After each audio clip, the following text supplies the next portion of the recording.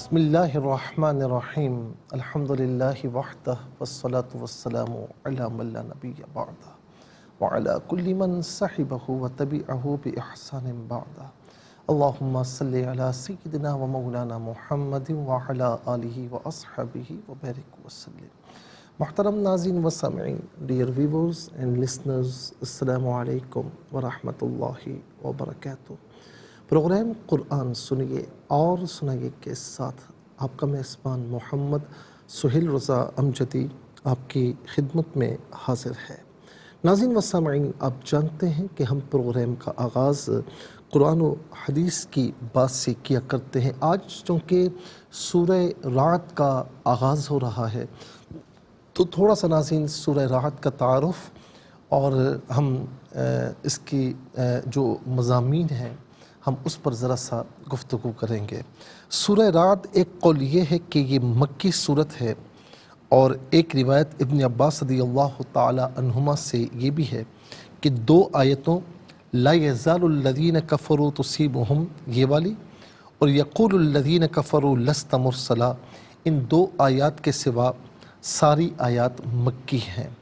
اور دوسرا قول یہ ہے کہ یہ سورہ مدنی ہے اور ناظرین اس میں تینتالیس آیات ہیں اور چھ رکوعات پر مشتمل ہے اور زیادہ تر ترجیح قول یہی ہے کہ یہ سورہ مدنی صورت ہے۔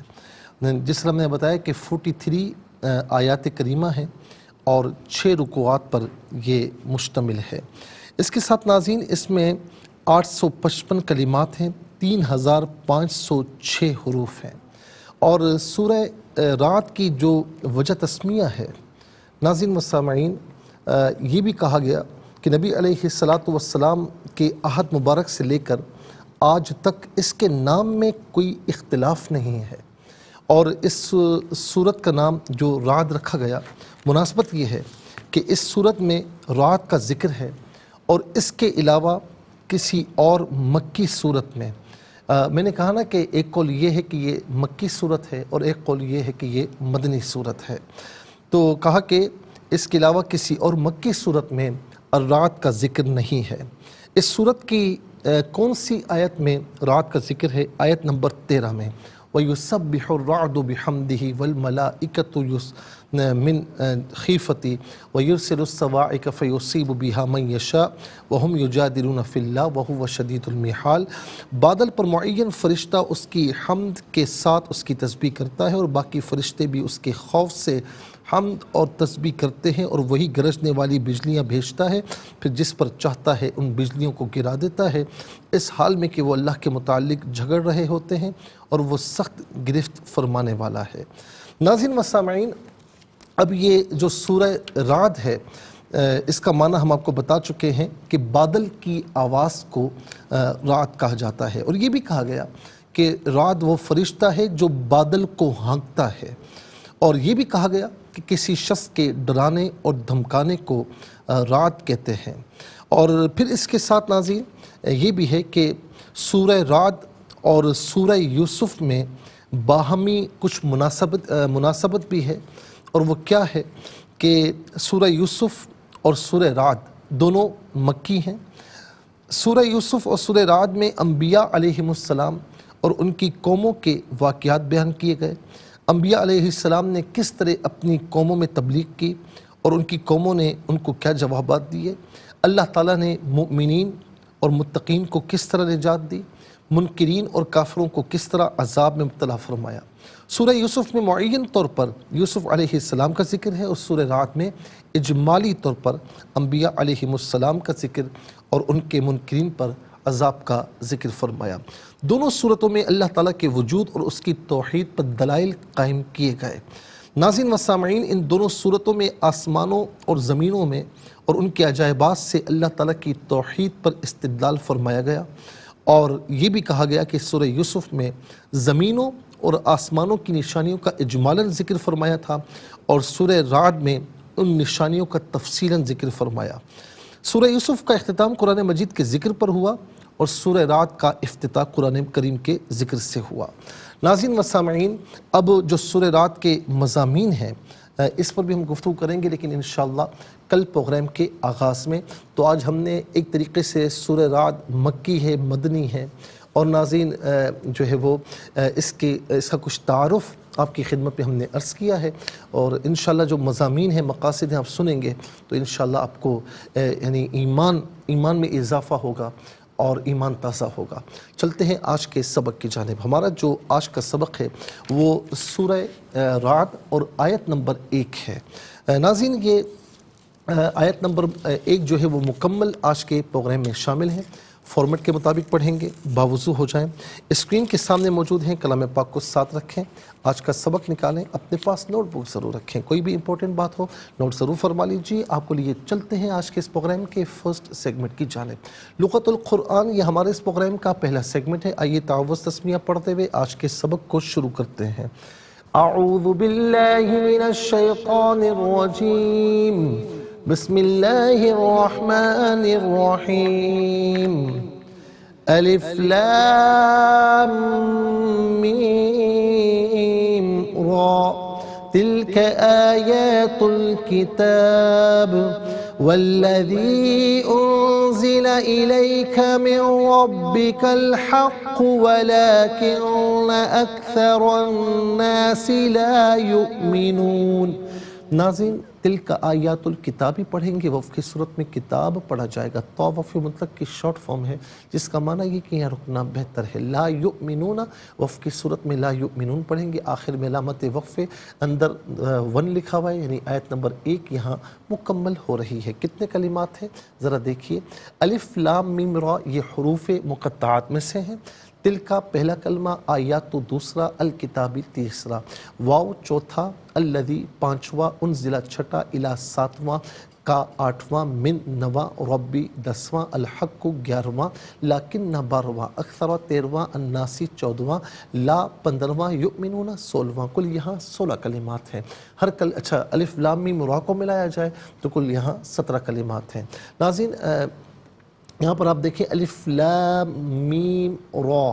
یہاں وف کریں گے تو تب بھی را ہی پڑھیں گے اور قف کا معنی ہوتا ہے وقف لازم یعنی یہاں وف کرنا لازمی ہے۔ اور اس میں ناظرین، اب ہر کلمے کو علیحدہ پھر ملا کر پڑھتے ہیں۔ آپ بغور ملاحظہ فرمائیں۔ الف لام میم را۔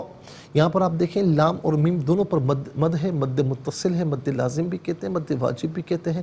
منیمم اس کو چار الف کی مقدار کھینچ کر پڑھنا لازمی ہے، زیادہ سے زیادہ چھ الف کی مقدار کھینچ کر پڑھا جا سکتا ہے۔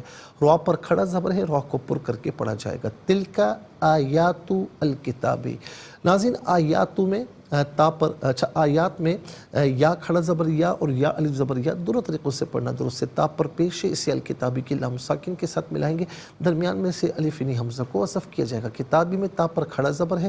تا، کھڑا زبر، تا اور طالب زبر، تا دونوں طریقوں سے پڑھنا درست ہے۔ تلک آیات الکتابی یہاں وقف کریں گے تو کتاب پڑھیں گے۔ وا اللذی اللذی میں آپ دیکھیں ناظرین، مد منفصل، مد جائز بھی کہتے ہیں۔ منیمم اس کو تین الف کی مقدار کھینچ کر پڑھنا جائز ہے پڑھنا چاہیے اور زیادہ سے زیادہ اس کو پانچ الف کی مقدار کھینچ کر پڑھا جا سکتا ہے۔ واؤ پر زبر ہے اسے اللذی کی لام کے ساتھ ملائیں گے۔ درمیان میں سے الف انی حمزہ کو حذف کیا جائے گا۔ والذی الہ علیدہ ہے، کا علیدہ ہے، ملا کر پڑھیں گے الی کا من علیدہ اور ربی علیدہ کا علیدہ من میں نون ساکن ہے، اسے ربی کے را کے ساتھ ملائیں گے۔ را کی آواز کو ادا کیا جائے گا۔ یہاں یربلون کا جو قاعدہ ہے وہ اپلائی کیا جائے گا۔ تو اس سے من ربی کا نہیں، میر ربی کا را پر زبر ہے، را کو پر کر کے پڑھیں گے۔ اور با مشدد ہے اور را بھی مشدد ہے، دونوں کو جماؤں کے ساتھ پڑھیں گے۔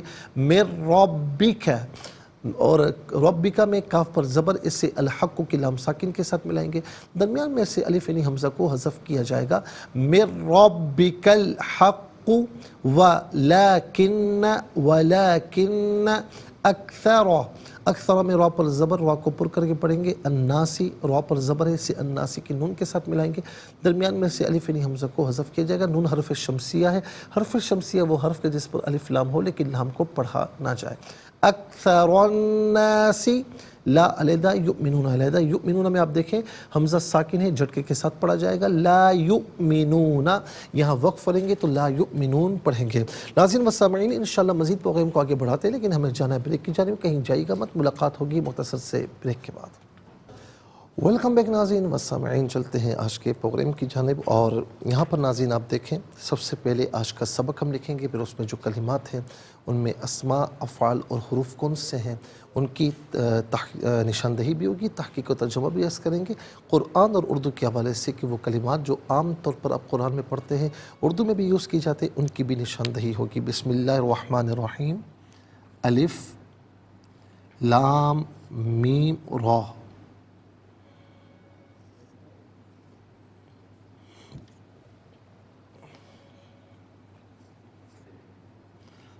تلك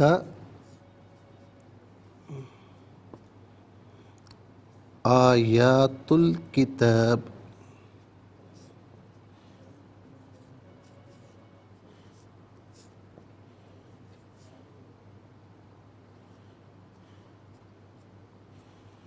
والذي أنزل إليك من ربك الحق والذي أنزل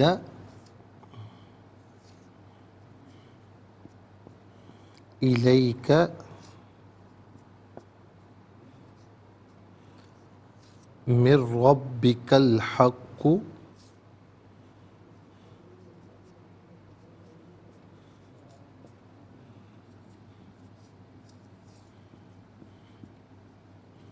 ولكن أكثر الناس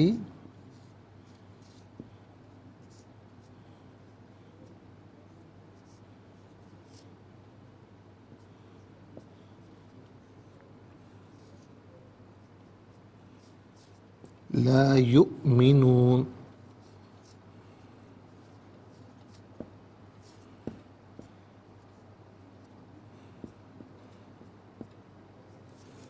یہ آیت نمبر ایک ہے۔ چلیں جی سب سے پہلے ہم چلتے ہیں اسما کی جانب کہ یہاں پر اسما کتنے ہیں، کون کون سے ہیں؟ تو پہلا اسم ہے تل کا دوسرا آیاتو، تیسرا الکتاب، چوتھا الذی اور پانچواں کا ضمیر، چھٹا رب، یہاں نمبر پانچ ہی آئے گا، ساتواں الحق اور آٹھواں اکثر، نواں الناس۔ تو کل نو اسما یہاں پر موجود ہیں۔ نمبر ایک، تل کا۔ نمبر دو، آیات۔ نمبر تین الکتاب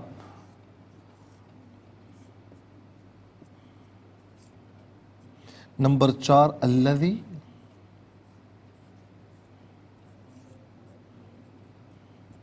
نمبر پانچ کا نمبر چھ رب نمبر سات الحق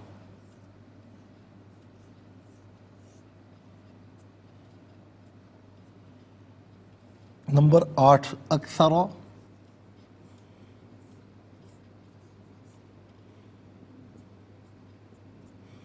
نمبر نو الناس۔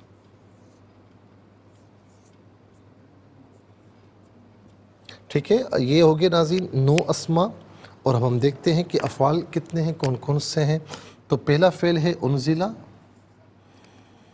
اور دوسرا ہے یؤمنون۔ نمبر ایک انزلہ، اور نمبر دو یؤمنون۔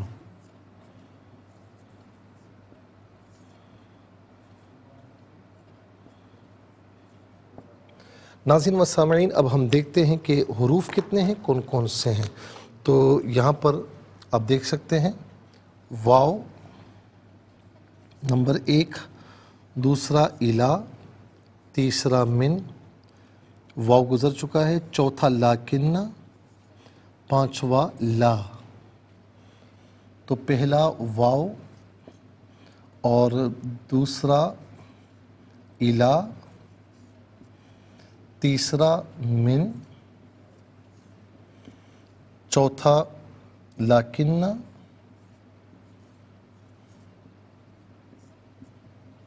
اور پانچواں لا۔ ناظرین نو اسما دو افعال، نو اور دو گیارہ۔ گیارہ اور پانچ تو کل سولہ کلمات ہیں۔ جلدی سے آ جائیں ناظرین سب سے پہلے اسما کی جانب۔ تو پہلا اسم ہے تلکا۔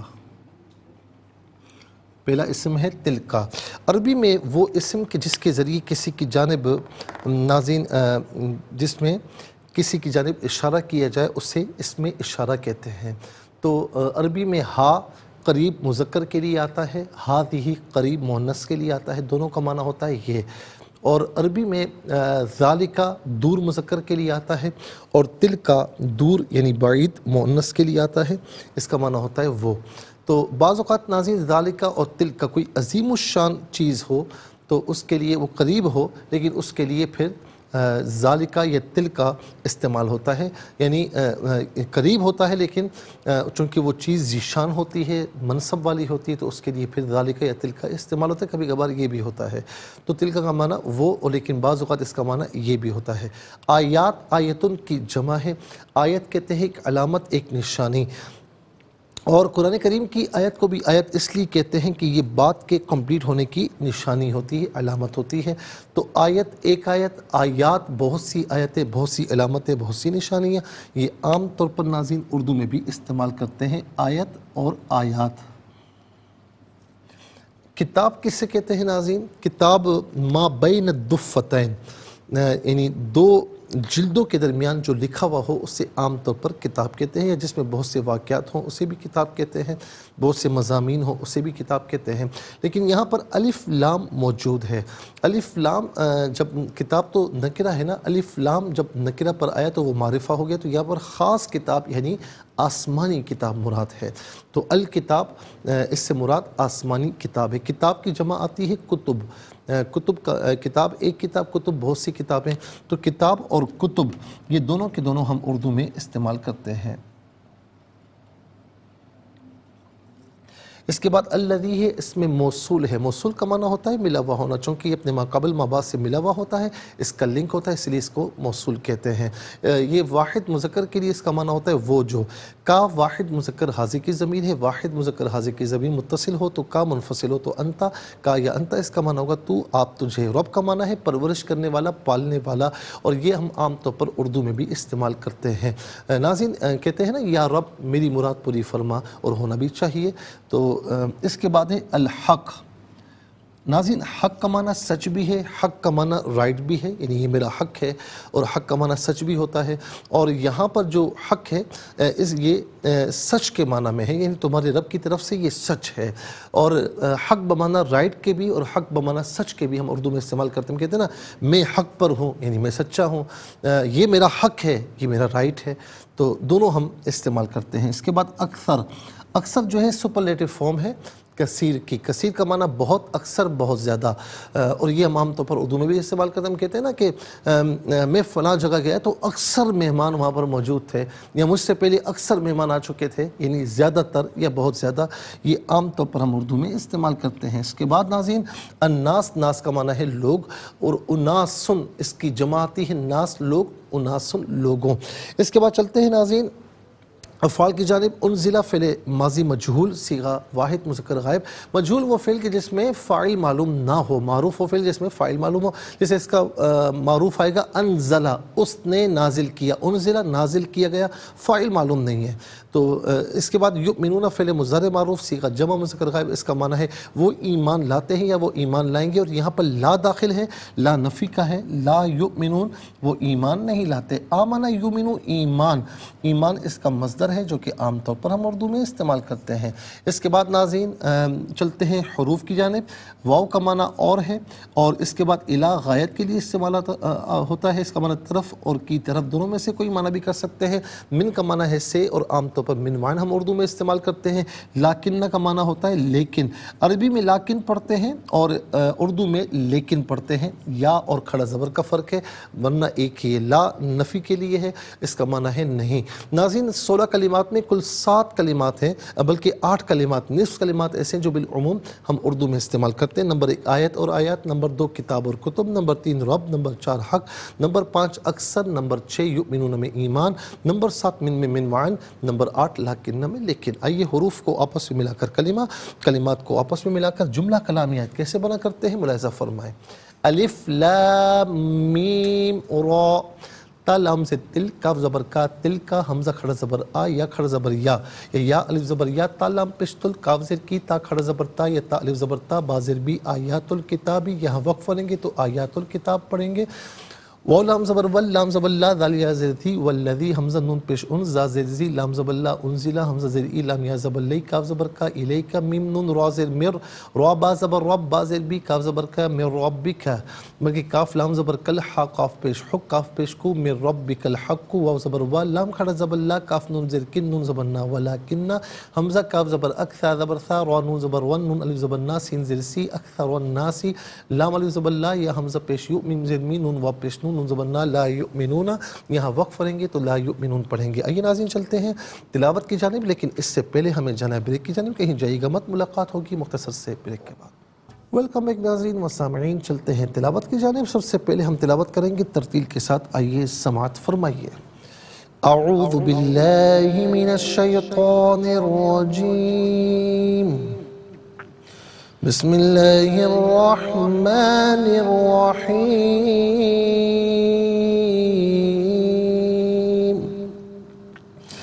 ألف لام ميم را. تلك آيات الكتاب. والذين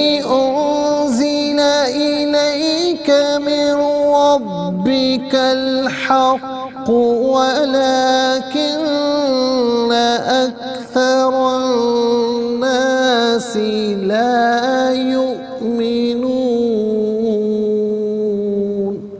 اب ہم پڑھیں گے ناظرین حدر کے سجدے سے نماز تراویح میں آپ سنتے ہیں یا پڑھتے ہیں ألف لام میم رو تلك آيات الكتاب والذي أنزل إليك من ربك الحق ولكن أكثر الناس لا يؤمنون. اب ہم پڑھیں گے تدویر کے ساتھ جس طرح فرض نمازوں میں آپ سنتے ہیں یا پڑھتے ہیں ألف لام میم رو تلك آيات الكتاب والذي أنزل إليك من ربك الحق ولكن أكثر الناس لا يؤمنون. آمنت باللہ صدق اللہ العظیم۔ تلاوت مکمل ہوئی، ہمارے اس پروگرام کا فرسٹ سیگمنٹ کمپلیٹ ہوا۔ چلتے ہیں سیکنڈ سیگمنٹ کی جانب۔ تفہیم القرآن، یہ سیکنڈ سیگمنٹ ہے۔ سب سے پہلے آپ کو لیے چلتے ہیں حرف بحرف لفظ بلفظ ترجمے کی جانب۔ الف لام میم را، یہ حروف مقطعات ہیں۔ تل کا یہ آیاتو آیتیں الکتابی کتاب کی وا اور الذی، وہ جو انزلہ وہ اتارا گیا الہ طرف کا، آپ من سے ربی رب کا تمہارے۔ الحق، حق، وا اور لیکن لیکن اکثر اکثر۔ الناسی لوگ لا یؤمنون، ایمان نہیں لاتے۔ آئیے ناظرین چلتے ہیں آسان فہم با محاور۔ ترجمے کی جانب۔ الف لام میم را۔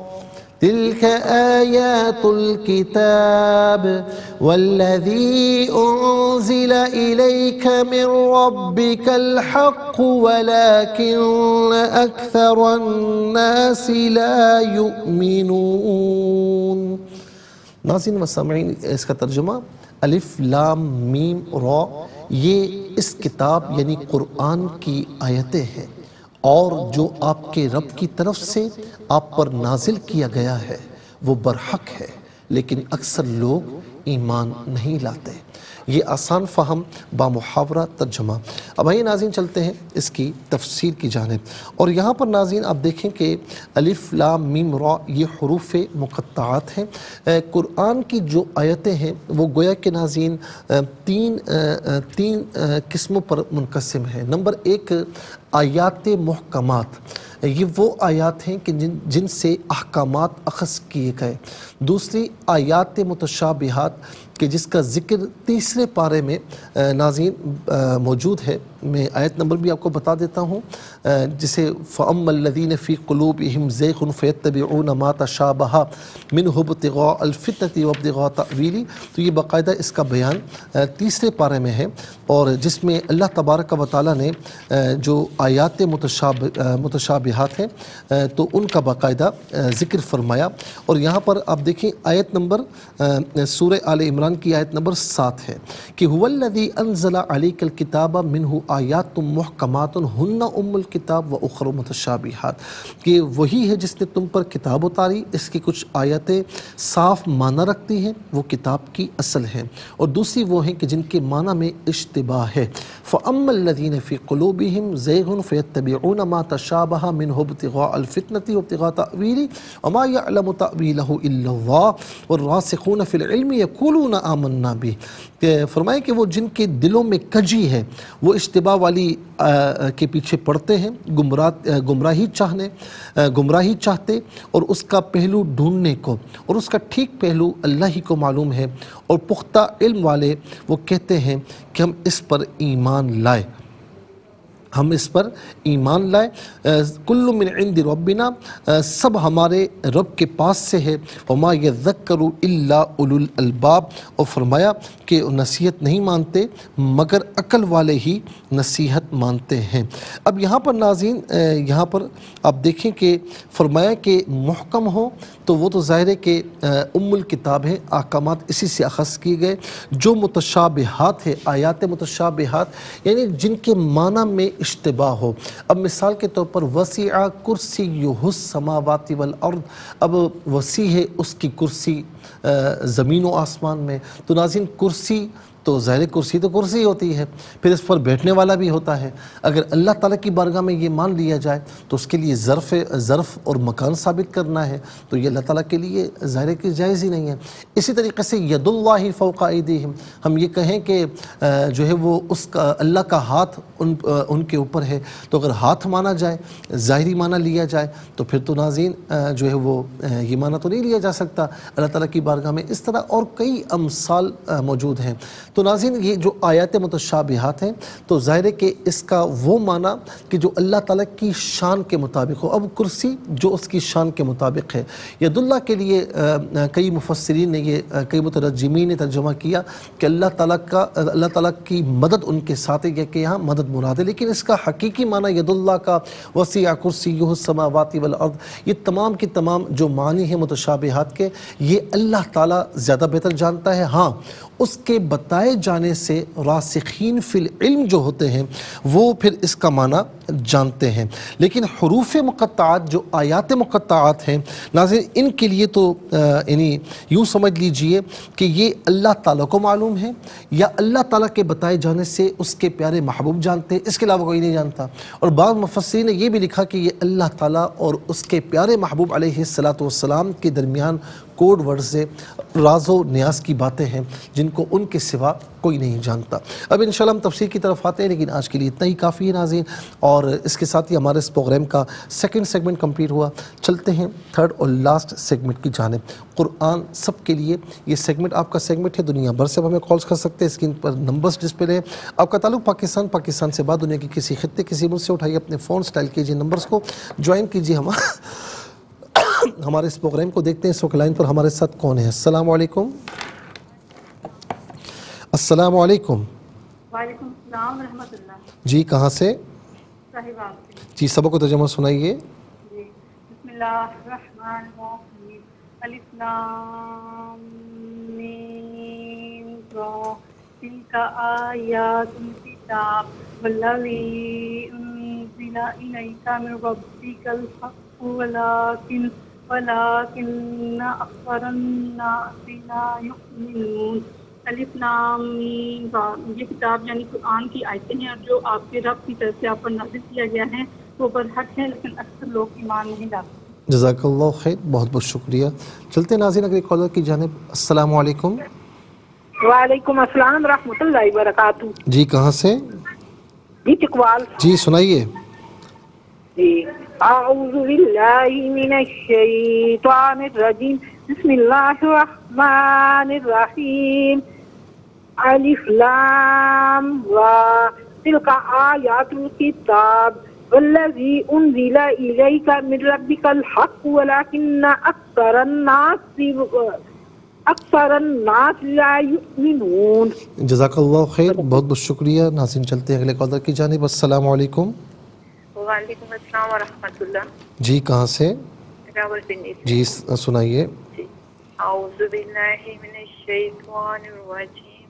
بسم اللہ الرحمن الرحیم۔ الف لام میم را۔ تلک آیات الكتاب والذی انزل الیک من ربک الحق ولكن اکثر الناس۔ ولكن أكثر الناس لا يؤمنون. صدق اللہ العظیم ماشاء اللہ چلتے ہیں ناظرین، اس وقت دیکھتے ہیں لائن پر ہمارے ساتھ کون ہے۔ السلام علیکم۔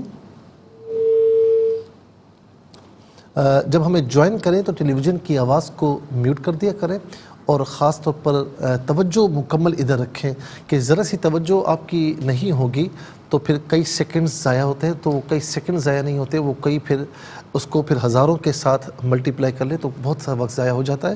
تو دیکھتے ہیں اس وقت لائن پر ہمارے ساتھ کون ہے۔ السلام علیکم۔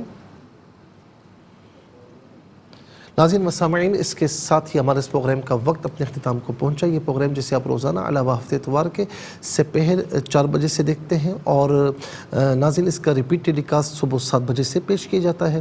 فیڈ بیک سے ضرور آگاہ کیجیے گا Q S A S at A R Y Q T V dot T V اور یوٹیوب پر آپ اسے قرآن سنیے اور سنائی کے نام سے ضرور سرچ کیجیے۔ اور جس ڈیٹ کا چاہیے آپ سرچ کر سکتے ہیں، اس سے مستفیض ہو سکتے ہیں اور صرف خود مستفیض نہ ہو، بلکہ اوروں کو بھی ترغیب دیجیے۔ زندگی رہی تو انشاءاللہ۔ کل سیم ٹائم آپ کل سیم ٹائم آپ کی آپ کی خدمت میں پھر حاضر ہوں گے۔ اس وقت تک کے لیے آپ سے اجازت چاہیں گے، پروگرام قرآن سنیے اور سنائیے کے میزبان محمد سہیل رضا جدی اور یار وائی کیو ٹی وی کی پوری ٹیم کو دیجیے اجازت اس دعا کے ساتھ کہ اللہ رب العالمین آپ کا ہم سب کا حامی و ناصر رہے۔ السلام علیکم ورحمۃ اللہ وبرکاتہ۔